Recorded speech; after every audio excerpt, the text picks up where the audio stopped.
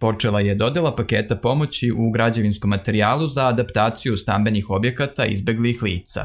U opštini Vrbas građevinski materijal dodelit će se u 17 domaćinstava. Ova dodela realizuje se u sklopu regionalnog stambenog programa za stambeno zbrinjavanje izbeglih lica. U ove projekte podrške uključene su kancelarije OEPS-a UNHCR-a, Komesarijat za izbeglice i migracije Republike Srbije i opština Vrbas, kaže Danijela Ilić, članica opštinskog veća koja je obišla isporuku građevinskog materijala na terenu. Danas je počela isporuka građevinskog materijala za porodicu Vojnović iz Ranog sela.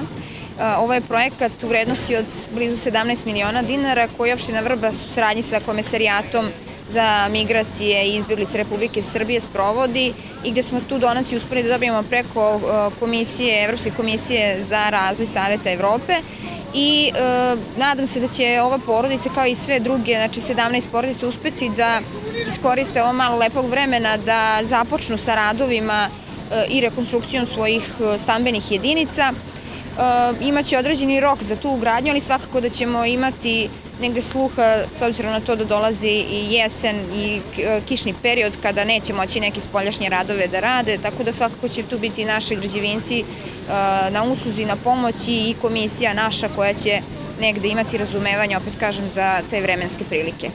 Građevinski materijal stigao je i u ravno selo u domaćinstvo Jova Vojnovića. Pitali smo ga koliko mu znači ova pomoć i za šta planira da je u potrebi. Ova pomoć? Pa ne, i za decu i za mene je ogromna pomoć. Da koliko smo čekali na početku, čak smo izgubili nadu da ćemo i dobiti. Ja uopšte se, oni kad su pričali sa mnom ženske i sin, ja samo kažem, nema šanse da to dođe. I ono je na kraju, evo, kaže, svidio da smo u pravu.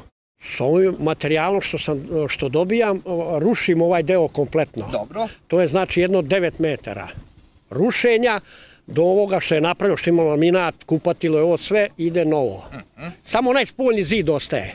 Vojnović spada u kategoriju izbeglih lica koja do sada nisu dobijala ovu vrstu pomoći ili su je dobijala u nedovoljnom iznosu po čemu ispunjava uslove konkursa. Status izbeglice stekao je nakon dolaska iz ratom zahvaćenog područja Hrvatske.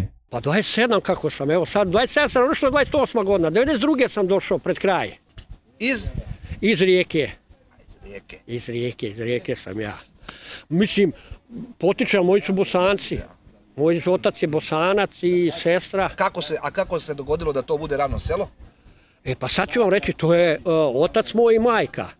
Tu su bili sve i sad iz uh, opštine Vrba smo jedini ja i Ivezić koji smo 68. otišli. On je otišao za, kad je studirao u Beogradu za Bosnu, o, ja mislim da je bio u, u, u ovome, kao Tuzli. A ja sam odavde otišao iz Vrba, iz Vrbaške opštine otišao da radim u Jadroliniju u Rijeci pomorska firma.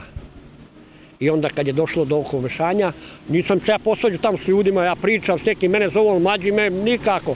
Ali je bilo kad me slalo gon dana na ratište, tamo gdje sam išao mi se bojali da ne idem na Gospić ili ovo i svi kidali. E to je to. Iako je predviđeni rok za izvođenje radova 180 dana, uzeće se u obzir vreme isporuke i jesenji i zimski meseci koji usporavaju radove. Pored ovog vida zbrinjavanja, u opštini Vrbas aktuelni su i drugi, među kojima je i projekat stambenog zbrinjavanja izbeglih lica kroz izgradnju zgrade kolektivnog stanovanja sa 14 stanova u Vrbasu.